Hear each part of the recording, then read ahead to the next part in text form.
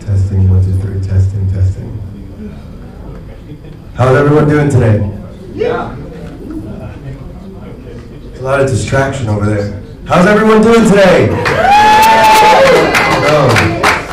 All right. For all those who know me, my name is Brian Santos. I'm the chairman of the Bitcoin Business Alliance, the largest grassroots organization in the Bitcoin ecosystem. We've been around since 2012, and I've also founded uh, several coins in this space. And uh, Fly is my company where I am the chief operating officer. So we're basically the Uber of private jets. And uh, there's a lot of problems with the private aviation industry as a whole. It's cost prohibitive, it's slow, it's not crypto friendly, and uh, for the most part, there's an inability to split uh, seats on a plane with your friends and colleagues. We've solved this with the Fly app. The Fly app is an AI voice powered application that hooks up to over 3,600 fixed base operators around the world and tens of thousands of aircrafts. It gives you uh, real time pricing on demand. You can pay with crypto and fiat. We have a partnership with Stripe that lets us do up to a million dollars in credit card loads. And we've also launched our own uh, rewards token called the Fly token. You'll learn more about it further ahead. These are all of our competitors.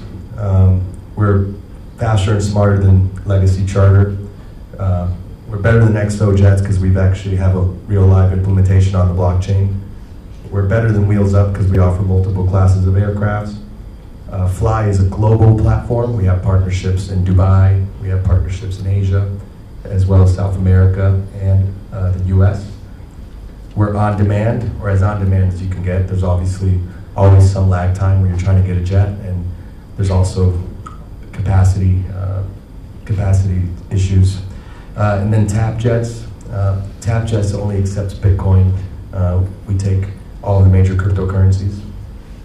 The Fly token is an ERC-20 token. It's basically an air mile rewards program. So we're one of the only private jet companies in the world that will give you rewards for using our service.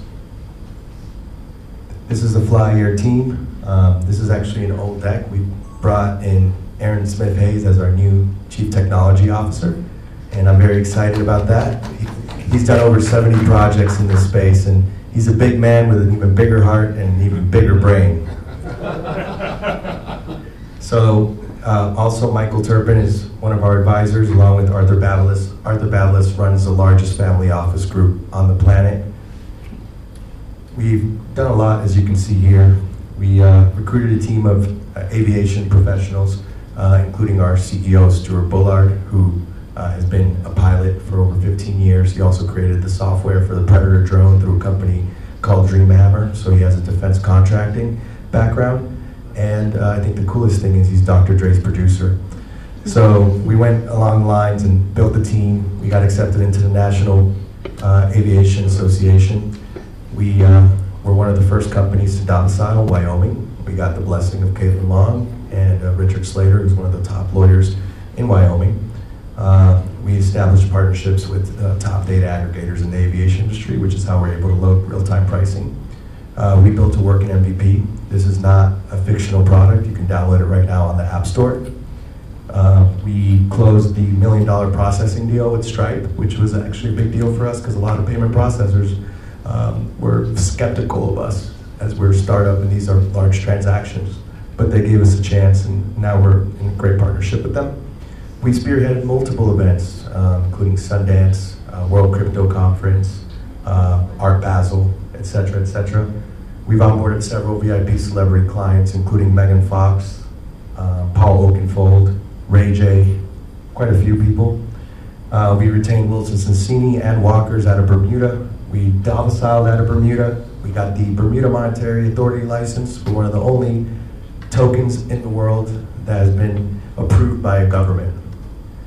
And we initiated phase two of our app development on Ethereum. This right here, we like to call the Jet Gang. The Jet Gang, I got a couple of people here in the Jet Gang. We took this flight to CoinAgenda, Puerto Rico. This was our inaugural Jet Gang flight. And part of what happens within the app is you can share seats. So we're able to take a plane like that that would normally cost thirty or forty thousand, you split it per seat, it ends up being three or four. It becomes affordable for everyone.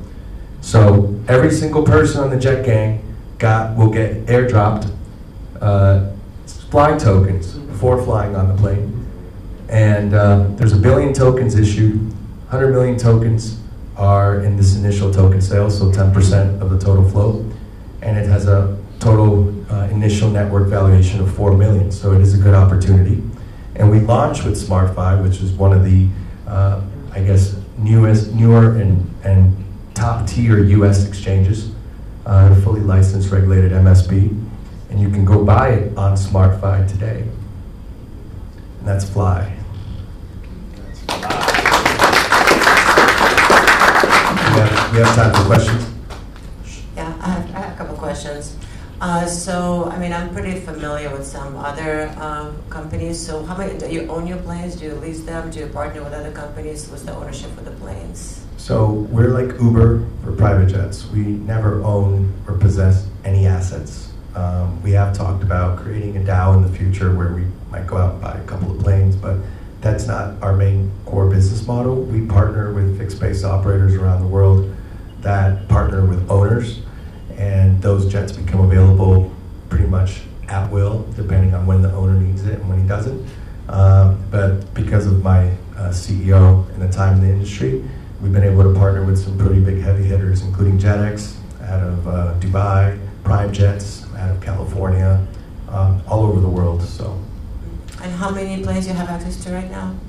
Uh, I think over 10,000 if you count every single person that we've hooked up with. So for wheel pools up, they're really good for cost effective for shorter flights. I mean, they have they're out there, you know, for the longer flights more. Uh, what's your uh, cost comparison compatibility between like you know for other competitors? I think we're, we're much cheaper because we have a lot less overhead, and we're also putting bringing a lot of the back app, back office stuff into the cloud, and we're also automating. So I think we're usually about 20 to 20 to 30 percent cheaper than the rest of the guys. Uh, the holy grail of the industry is really selling seats rather than planes. Uh, but uh, there are regulatory hurdles. Uh, do you expect to, to uh, try to do that uh, in the future? Um, so my main mission is to put butts in chairs, right? That's my business model, and um, I think a lot of it is uh, creating, curating an experience, right? And part of what we're working with with Michael Terpin is uh, essentially creating an experience where people can network, where they can uh, be comfortable, where they can have a luxury service without having the luxury price tag associated with it.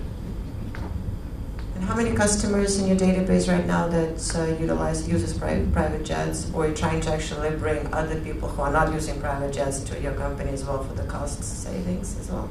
Yeah, I mean we've we've done some pretty big flights with some big names um, in this space, uh, including Brock Pierce. Um, we, I'd say right now we have about a database of 100 clients.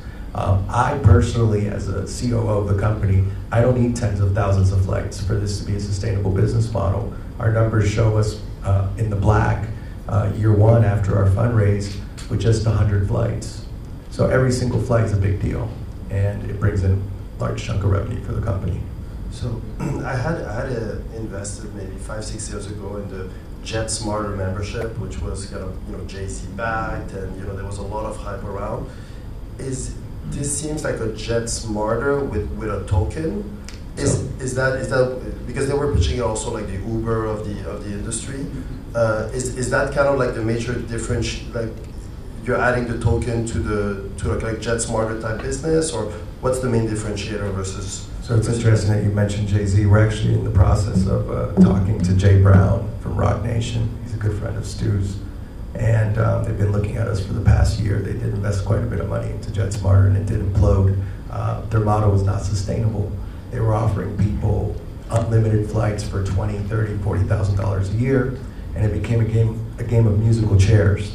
So when people wanted to fly, say for Christmas, they wanted to use their membership, they would go and the planes would be all sold out and they would be out of capacity. And it became kind of like a, a pyramid scheme. Uh, the FBI got involved, there's been investigations. Our model's not that. Um, the token is essentially, just being honest, the token is essentially a membership and it doesn't necessarily guarantee you that there's going to be availability for the plane, but it has a tangible value that you can use to pay for. And by buying the token, you essentially get a discount. So when I say the token is your membership, think of the Costco model. By buying the token and participating in the ecosystem, we're going to give you prefer preferential pricing. We're going to give you hand and glove service, and we're going to give you a bunch of incentives that come by using the ecosystem.